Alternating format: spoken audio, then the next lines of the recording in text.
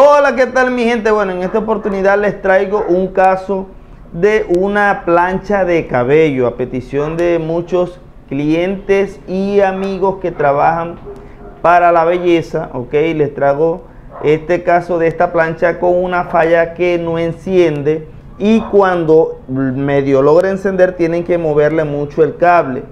¿Ok?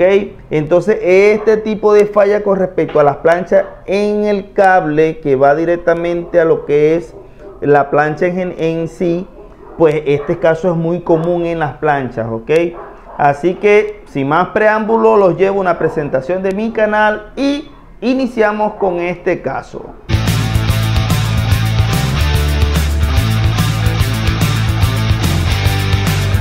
Bueno, iniciamos con este caso a petición de muchos clientes y amigos que trabajan para la belleza. Eh, hoy traigo una plancha, una falla que tiene que no enciende, a veces enciende, a veces no enciende. Y quiero hacer una explicación, no todas las planchas traen este tipo de sistema internamente de conexión del cable de corriente directamente a la board. En este caso viene con un soporte que me parece bastante obsoleto. Fíjense el soporte, viene con dos cables que van soldados a lo que es la tarjeta o la máquina.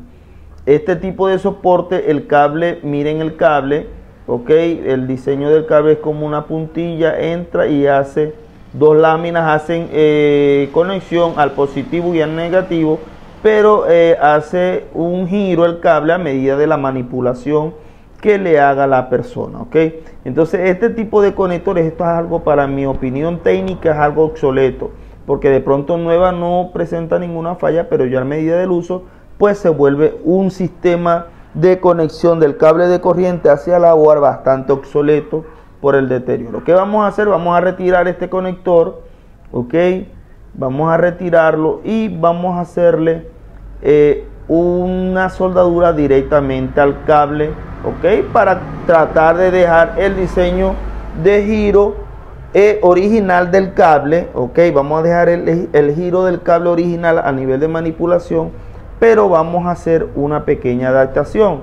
Este es el conector, aquí estoy haciendo la muestra, esto es obsoleto, como digo, vamos a retirar. Entonces vamos a soldar, el más corto es el, el mm, positivo, ¿ok? Lo vamos a colocar aquí en la punta, ese es el positivo, lo, lo vamos a soldar ahí en la punta.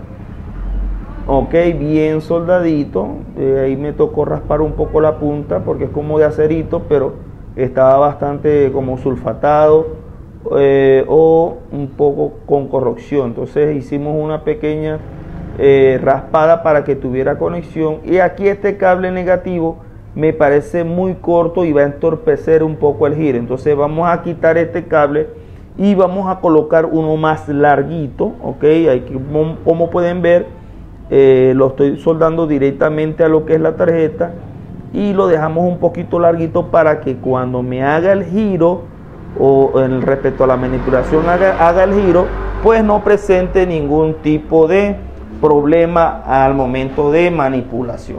Entonces ya aquí ya soldé el cable directamente a la board y voy a soldarlo ahora en el negativo del cable ok vamos a hacer este proceso de soldado. Vamos a, retocar de estaño aquí la punta del cable y precisamos con un buena buen estaño ok en el negativo para que tenga buen agarre. Lógicamente ya ahí haciendo el raspado para que tenga buena conexión buen agarre. Aquí como pueden ver pues ya hice proceso de encendido ya está encendiendo y calentando la plancha perfectamente. Calentando perfectamente está esta plancha, así que si te gustó este video te invito a suscribirte a mi canal y a seguirme en todas las redes sociales como Marcela Altagama.